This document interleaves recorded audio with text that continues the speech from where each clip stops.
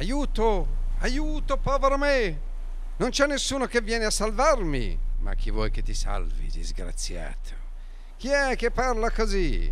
Sono un povero tonno, inghiottito dal pesce cane insieme con te. E tu che pesce sei? Io non ho nulla a vedere coi pesci, io sono un burattino. E allora se non sei un pesce perché ti sei fatto inghiottire dal mostro? Non sono io che mi sono fatto inghiottire, gli è lui che mi ha inghiottito. E ora che cosa dobbiamo fare noi qui al buio?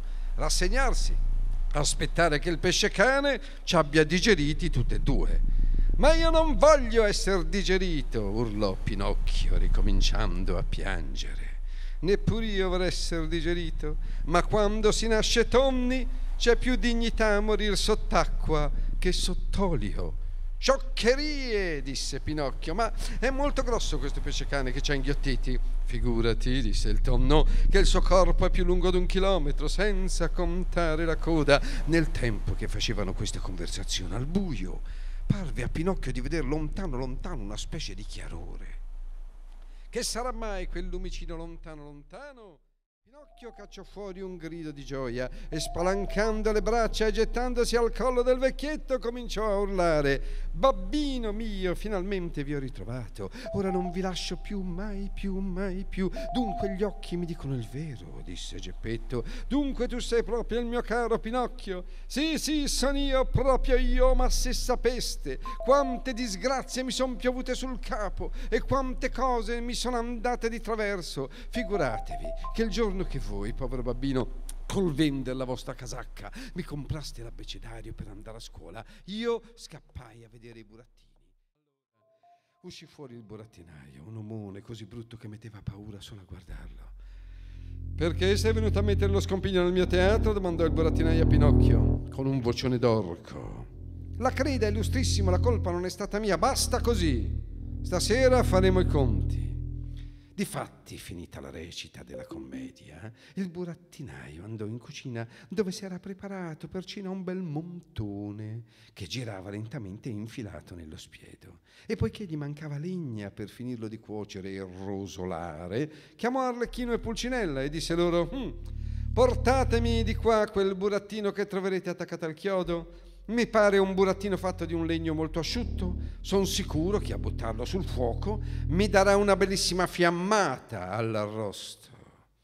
Il burattinaio mangia fuoco, che questo era il suo nome, pareva un uomo spaventoso.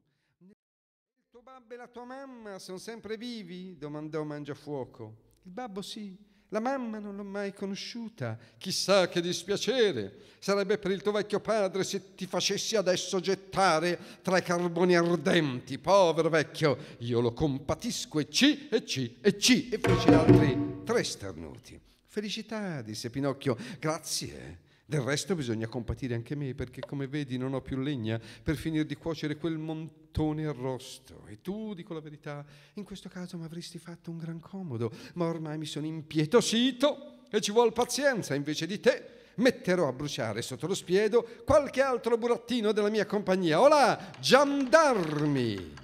A questo comando comparvero subito due giandarmi di legno, lunghi lunghi, secchi secchi, con la sciabola sfoderata nelle mani. Pigliatemi lì quell'arlecchino, legatelo bene, poi gettatelo a bruciare nel fuoco. Io voglio che il mio montone sia ben arrostito. Pinocchio alla vista di quello spettacolo straziante, andò a gettarsi ai piedi del burattinaio e piangendo dirottamente cominciò a dire con voce supplichevole Pietà, signor Mangiafuoco! Qui non ci sono signori, disse il burattinaio. Pietà, signor cavaliere! Qui non ci sono cavalieri! Pietà, signor commendatore! Qui non ci sono commendatori! Pietà, eccellenza! A sentirsi chiamare eccellenza, il burattinaio fece subito il bocchino tondo tondo e diventato tutto a un tratto più umano e trattabile, disse a Pinocchio, Bene, cosa vuoi da me?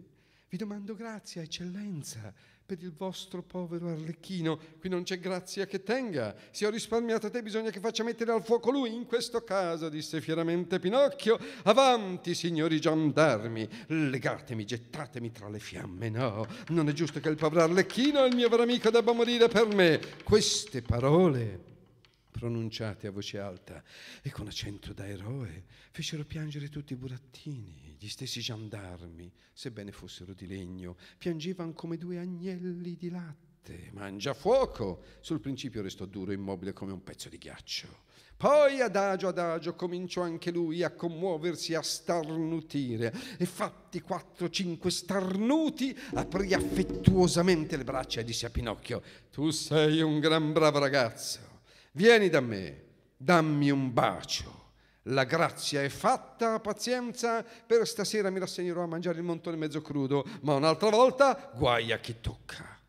Alla notizia della grazia ottenuta, i burattini corsero tutti sul palcoscenico e cominciarono a saltare e a ballare. Era l'alba e ballavano ancora e il giorno di poi Mangiafuoco chiamò in disparte Pinocchio e domandò a Pinocchio come si chiama il tuo babbo. Si chiama Geppetto e che mestiere fa? Fa il povero, disse Pinocchio, e guadagna molto.